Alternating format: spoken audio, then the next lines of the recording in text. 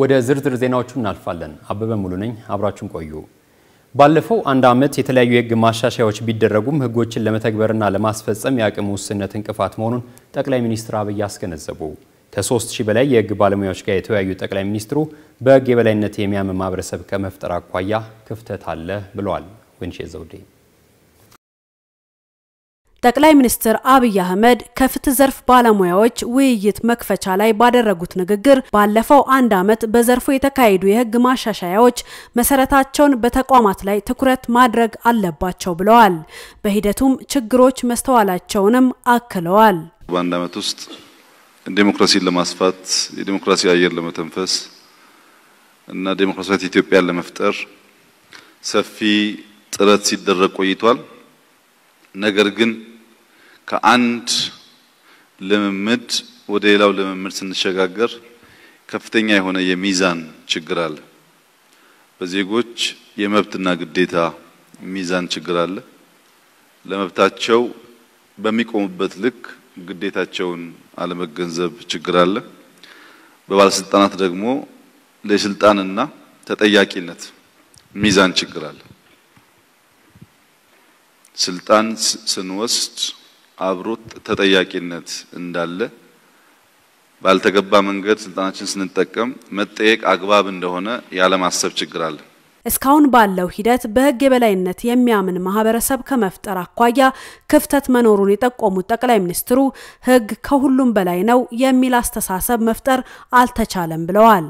እስካሁን ባለው ሁኔታ በተዋረዳዊ ግንኙነትም በጎንዮሽ ግንኙነትም ብዙ ሕግን ወደ ራስ አጋድሎ የማየት ችግር አለ።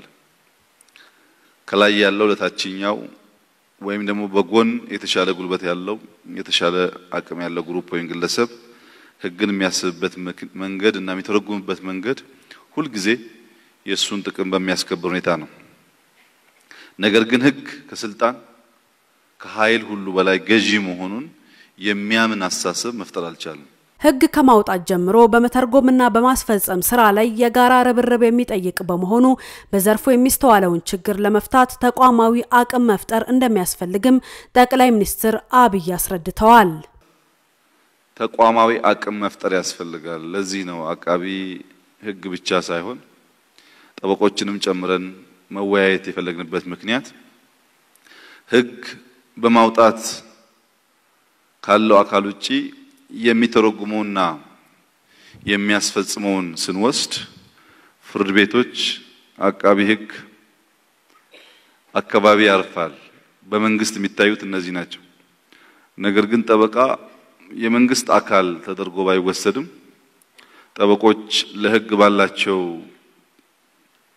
ቀናይ ቁጭትና ቅርበት እነሱን ያካተተ በጋራ በምንሰራቸው ስራዎች እነሱም በተናጠል በሚያደርጓቸው ጥረቶች የጋራ ርብርብ ካላደረግን ህግን አልቆ ከፍ አድርጎ ማስቀመጥ የሚቻል ስላልሆነ ህግን ከሚያቀቡና ለደንበኞቻቸው ህግን ከሚያስከብሩ ሰዎች ጋር ነው ውይይት የምናደርገው። በውይይቱ የተሳተፉ የፍትህ አካላትም የህግ የበላይነትን ለማረጋገጥ ህጎችን በአግባቡ ተግባራዊ ማድረግ ይገባል ሲሉ አስተያየት ሰጥተዋል። አገር ማለት ህግ ነው። ለእኔ ህግ ልክ እንደ አገር ወይም እንደ አይደንቲቲ ነው። ለአንድ ሀገር እድገትም ሆነ ለትውልዱም ለሚቀጥለው መሰረት ህግ ወሳኝ ነገር ነው። የታደሉት ሀገሮች የህግ የበላይነትን ያሰፈኑት እነዚህን ምርጥ ታላላቅ የህግ ባለሙያዎች ፈልፍለው አውጥተው በኃላፊነት ላይ በማስቀመጥ ልዩነታችን ይሄ ነው።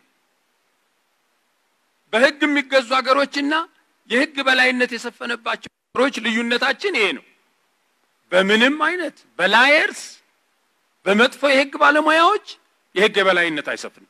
ከሶስት ሺህ በላይ ዳኞች፣ አቃቢያነ ህግ፣ ጠበቆችና የፍትህ ዘርፍ አመራሮች በተሳተፉበት በዚህ ውይይትም ጠቅላይ ሚኒስትር አብይ አህመድ አስተዳደራቸው በፍትህ ስራ ላይ ጣልቃ እንደማይገባ በድጋሚ አረጋግጠዋል። በውይይቱ ማጠቃለያም ከፍትህ ዘርፍ ባለሙያዎች ጋር በመሆን የዛፍ ችግኝ ተክለዋል። መጪውን የክረምት ወር በማጽዳትና ዛፎችን በመትከል እንዲያሳልፉም ጠቅላይ ሚኒስትሩ ጥሪ አቅርበዋል።